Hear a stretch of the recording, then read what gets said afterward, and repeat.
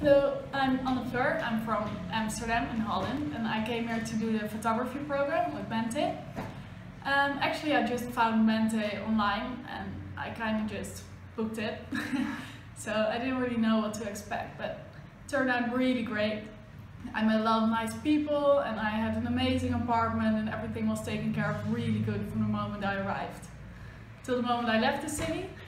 So it was really nice. The photography program was also amazing. We had this really nice teacher who taught us everything and we could step by every moment we want. And he would just help us with everything we needed. And with the photography program we did some different projects. Um, I chose one where I remade some photos from uh, 100 years ago that were taken around the city. So we would see all different parts of the city in a really different way that was uh, associated to the photography, which was really nice.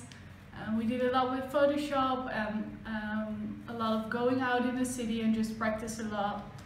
And we learned like everything about photography.